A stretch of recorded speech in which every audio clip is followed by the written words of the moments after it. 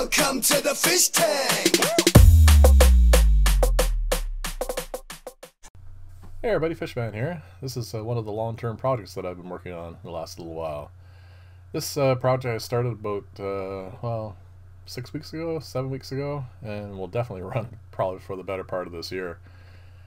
I uh, have to test out everything that I might try for a client's tank, and I thought maybe I was I've seen a lot of people who have done, uh, well, Chaeto reactors, algae scrubbers, uh, that sort of thing.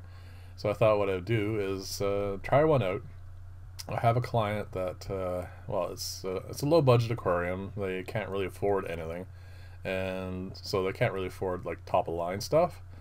So what I want to do is uh, build this for them, and I'm going to use uh, their system as a test to see if um, see if this is going to have any noticeable effect really. Uh, algae scrubbers uh, or refugiums, uh, Chaeto reactors, all that sort of stuff, pretty much just use uh, some sort of uh, plant matter to remove uh, nitrates, phosphates, and that sort of stuff from fish tanks. Now, in principle, there's certainly nothing wrong with that. But in uh, actual function, there's a number of things they have to take into account. for a maintenance thing like what I do, first off, it has to have a noticeable effect. I mean, I mean like an effect that um, makes it worthwhile building and putting one of these on. And also, it has to be something that will fit, uh, given whatever sort of circumstances these uh, the client has. Not everyone has a large uh, underneath section or another room or whatever where they can have a large filtration system. So in this particular case, uh, they have none of that. So this has to kind of sort of fit on top of the tank, and so it has to be small. And then again, if it's small, is it going to be um, have enough biological activity to actually make a difference in the aquarium.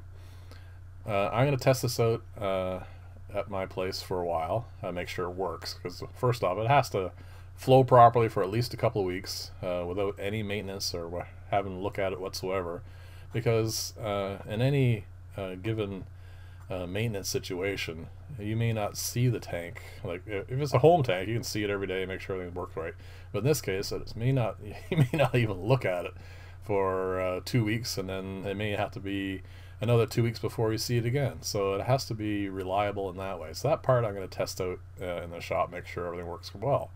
And then, uh, because the tank I'm going to be setting this up on really doesn't need a Chaeto reactor or algae scrubber or whatever, because it runs very low uh, nutrients anyway. So once I'm sure it's functional, then I'm going to shift it over to the client's tank, and then I'm going to run it for the rest of the year there and uh, see if it actually makes a noticeable difference in the amount of maintenance I have to do and so on and so forth. So there you go, long-winded introduction to this. Uh, while I was talking, uh, I'm just building the acrylic insert. This is the box where all the water is going to flow through and where I'm going to put the Chaeto, or uh, well, Chaeto initially anyway, and then I'm going to build an aluminum surround for it. Because this is going to sit on top of a tank, uh, there's an air gap there, let's just point that out because this is going to sit on top of a tank, um, it has to not be giving off a lot of light.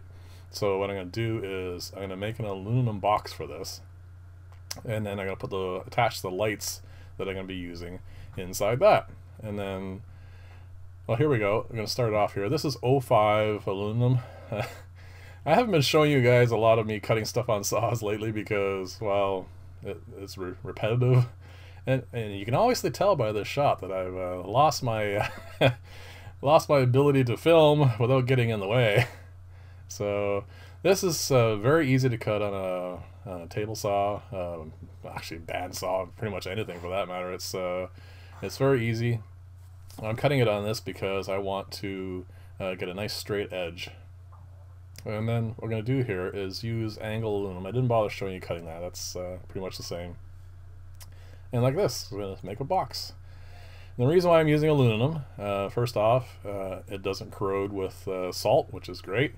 And also I want to be able to dissipate, because the lights are going to be inside a uh, contained system, I want to make sure there's a good heat dissipation, because I don't want to end up, uh, well, cooking the algae or the Chaeto.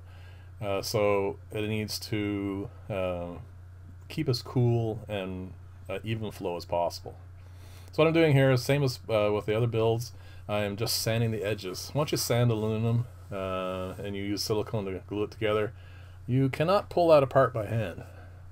Uh, you can obviously get it apart by tools and stuff, but it's a very strong bond. And what I want to do is, like I said, I just want to build uh, a nice little box for this.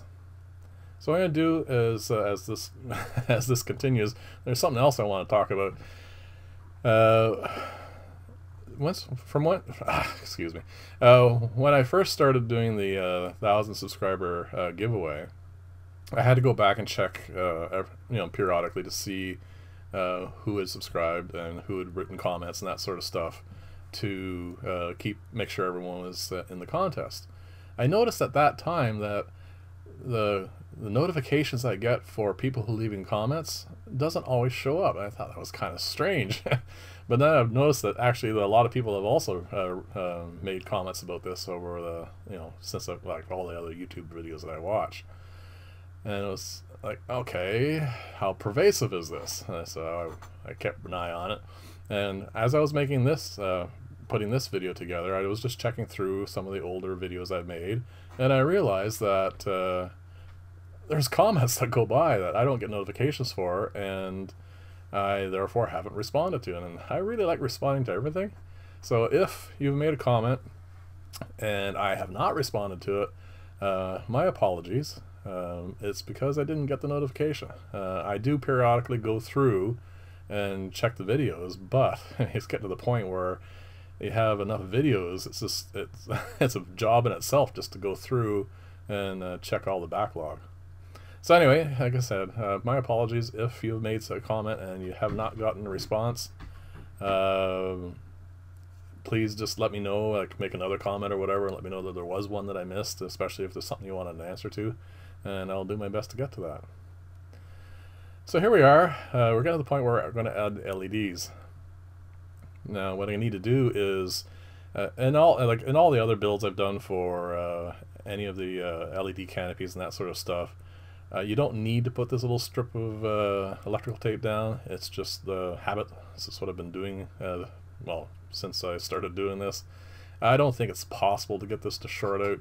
And, and as far as safety is concerned, um, LEDs, these LEDs here, run off a 12 uh, volt ballast, so uh, there is no electrical hazard danger or anything. It's just, it's just there um, to make sure that uh, I don't want to have to replace any of these things, so I want it to last as long as possible. So what I'm going to do is I'm going to run three strips on each side, and then I'm going to solder them all up.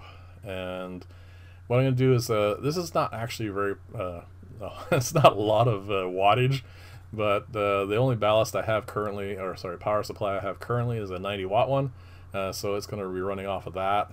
Uh, the power supply isn't even going to warm up trying to run these little things, so you can run this at a, a much lower power source. But like I said, I'm just testing this out. I don't want to go buying a ballast for it, a new power supply for it, and also um, the client can't really afford one anyway, so I'm just using what I have on hand. So what we're going to do is just going to very easily uh, just uh, solder the wires on, just to interconnect them. And as I said before, you don't need to do them on the ends like this. I just find little pads on the ends that are a little easier to work with than the, somewhere in the middle. But you, because it's a direct current, you can uh, solder at any point you want and connect any two pads to, well, any two positive pads together or any two negative pads together. And as before, I will silicone any of the uh, solder joints, uh, simply because, well, salt's a pain. So uh, I started making this video and I uh, had originally put it all together in one go and it was it was getting to be over 20 minutes long, uh, so what I'm going to do is I'm going to cut this in half. Uh, I'm going to just show you up to getting the, these solder joints done and also going to um, pressure test the uh, acrylic insert. And then I'm going to call it there, and then uh, next week what I'll do is I will finish that up and I'll show you how it all worked as far as uh, its algae scrubbing capabilities go and also show you what it looks like as a, a full unit. So uh, thank you very much for watching. Hope you like this style of video. Uh, sorry for cutting in half, but I don't. I'm trying not to make videos that are uh, too long because uh, not everyone has time to watch these sorts of things. So Uh, again, next week I will uh, finish this up and I also give you an update on how it's been doing sitting on the client's tank. So again, thank you very much for watching and I will see you in the, the next video. Oh, these are just the end caps. That's where the um, these two pipes that you see on either end are going to slide down through because I want to be able to lift this up with ease so that uh, I don't have to take everything apart and spend you know half an hour cleaning this thing which would be very counterproductive. Anyway thanks again